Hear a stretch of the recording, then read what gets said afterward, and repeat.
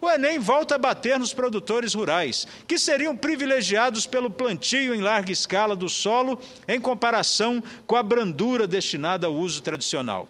Nas entrelinhas, o jeito é deixar a lavoura sob controle, controle dos índios para que porque eles dão conta de alimentar o Brasil e o mundo.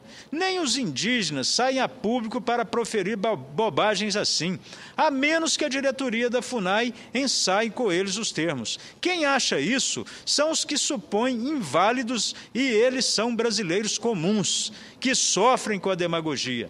Opção B apontam a conspiração entre os grileiros articuladores do agronegócio para atacar os povos indígenas pouco articulados. Não noticia quando foi a última matança de índios por fazendeiros. Opção A, considerada correta, deixa assim a frase: a questão indígena contemporânea no Brasil evidencia a relação dos usos socioculturais da terra com os atuais problemas socioambientais caracterizados pelas tensões entre. Aí vem a expansão territorial do centro-oeste e norte e as leis de proteção indígena e ambiental.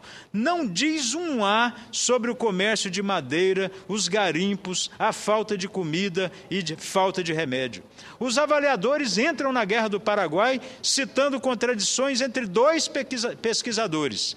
O primeiro é Júlio Chiavenato, em um trecho do livro Genocídio Americano, A Guerra do Paraguai. O outro é Francisco Doratiotto, na obra Maldita Guerra, Nova História da Guerra do Paraguai. A ideia do Enem é cristalizar no imaginário do jovem que Solano Lopes foi vítima da Inglaterra.